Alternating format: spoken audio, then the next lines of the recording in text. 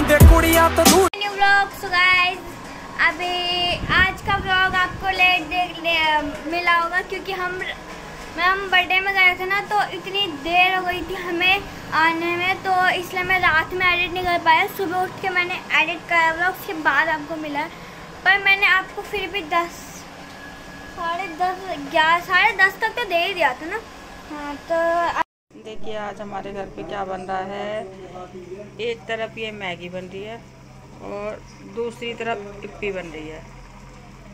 ये दो दो अलग अलग जगह पे दो दो मैगी बन रही है। ठाकुर गर्ल ने बनवाई है मैगी और उसके भाई ने बनवाई है इप्पी। आप लोगों को कौन सी मैगी पसंद है? कमेंट में ज़रूर बताइए। अभी आपको मैं दिखाती हूँ मैं क्या कर रही हूँ। यहाँ पे मैं नहलाने जा रही थी कान्हा जी को, और कान्हा जी के सारे बर्तन रखे हुए हैं। तो पहले आप कान्हा जी को नहलाते थे, चलो। पहले हम कान्हा जी को, कान्हा जी के बर्तन धुल देते हैं उसके बाद नहलाते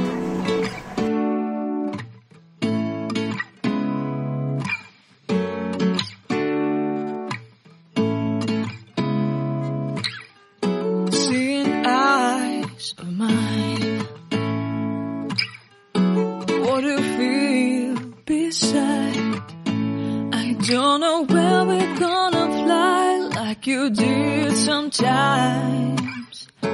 Seeing.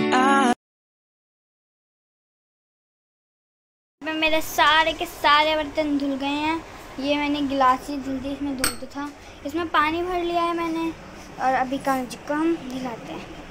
सो so गाइस हमने यहाँ पे कान जी के कपड़े उतार लिए हैं। अब कान्हा जी को हैं।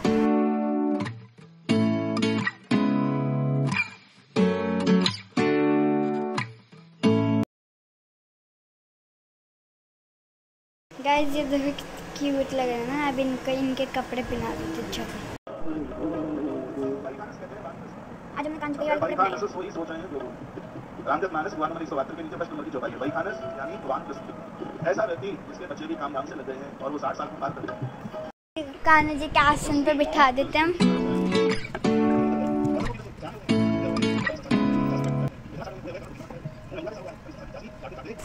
कान्हा जी के पास कान्हा जी की बांसुरी है नहीं, कान्हा जी खोले थे, इसलिए हमने बस ये बनाया अभी इसकी, इनकी बांसुरी भी लानी है।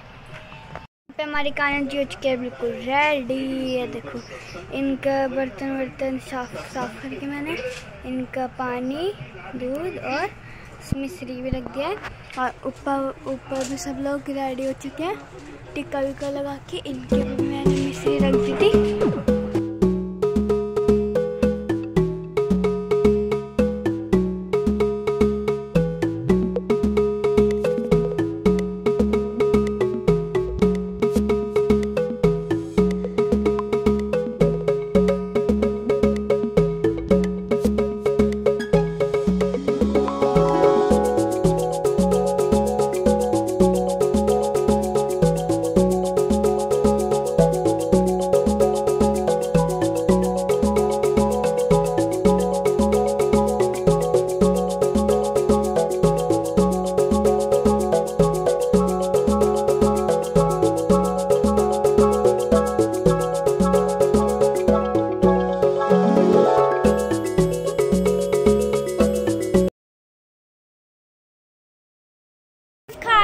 बाद मिलेंगे हम आपसे बाय यहाँ पे हमारी कैंडी आंटी सो रही हैं, बड़े अच्छे से टिक्का चिक्का लगा के। अब बाद में मिलेंगे बाय सो गाइस आपका इस ब्लॉग में कुछ ज़्यादा देखने का मिला नहीं होगा तो इस ब्लॉग को मैं पैन करता है। पसंद आया तो वीडियो को लाइक कर देना चैनल पर सब्सक्राइब कर देना